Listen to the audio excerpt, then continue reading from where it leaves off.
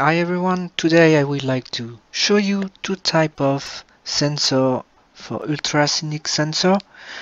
Uh, as you already know perhaps the HCSR04 which is very standard, we can find it uh, everywhere on eBay. Uh, you can measure uh, distances uh, about a range of 3 centimeters to 3 meters. I found out another one which is called US015 exactly the same pins out here VCC, Trig, Echo and GND. The range of measurement is 3 centimeters to 7 meters and I, I made um, a class which can use uh, HCSR04 or US015 uh, on Arduino and I will demonstrate it to you today. So you open your Arduino 158 and we go on cookie import library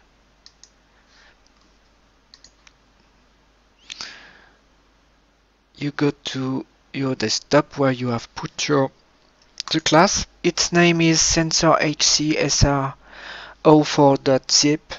Select it, open it, and then we go to File, Examples, and sensor HCSR04 and view distance in inch.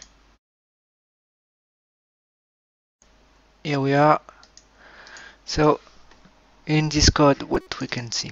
So here is the instantiation of the class HCSR04 I call it sensor1 and here we have to to give the trigger pin which is 8 on digital port and the echo pin which is 9 on digital port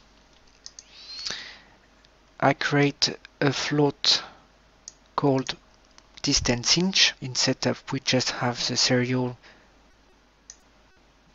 And in the void loop we just found two things.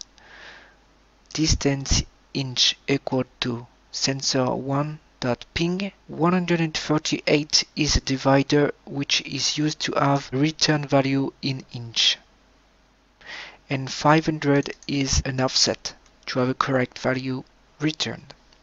And then we write uh, distance inch on the serial. What else? Error values.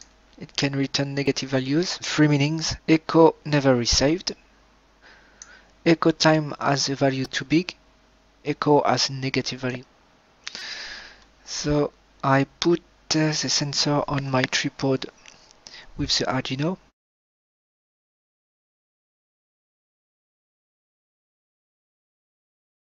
That's all for today, folks.